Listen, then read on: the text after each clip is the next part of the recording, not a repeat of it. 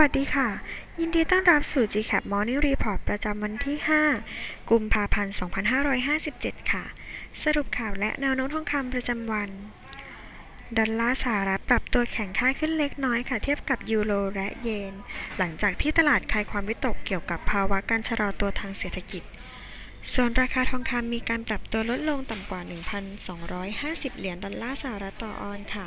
เมื่อคืนนี้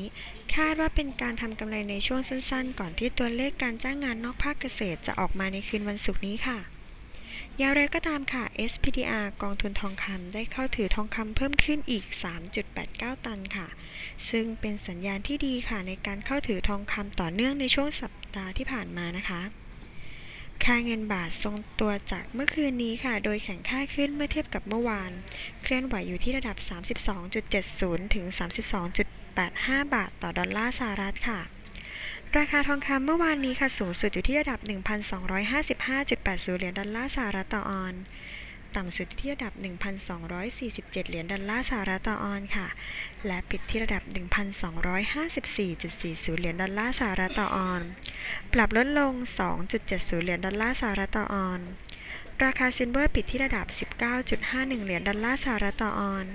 ปรับขึ้น 0.17 เหรียญดอลลาร์สหรัฐต่อออนซ์ค่ะราคาน้ำมันดิบปิดตลาดที่ระดับ 97.19 ดอลลาร์ต่อบาร์เรล ปรับขึ้น 0.76 ดอลลาร์ต่อบาร์เรลค่ะ ดัชนีดาวโจนส์ปิดตลาดที่ระดับ 15,445.24 จุด ปรับขึ้น 72.44 จุดค่ะ ตัวเลขเศรษฐกิจที่ประกาศเมื่อวานนี้ค่ะ คำสั่งซื้อโรงงาน ประกาศออกมาติดลบน้อยกว่าที่คาดการณ์ค่ะ อยู่ที่ติดลบ 1.5%ดัชนีความเชื่อมั่นผู้บริโภค ประกาศออกมาน้อยกว่าที่คาดการณ์ค่ะ อยู่ที่ 44.9 และสำหรับตัวเลขเศรษฐกิจที่จะประกาศในวันนี้นะคะ ตัวเลขการจ้างงานของ ADP ครั้งก่อนค่ะอยู่ที่ 238,000 ราย คาดการว่าจะลดลงค่ะอยู่ที่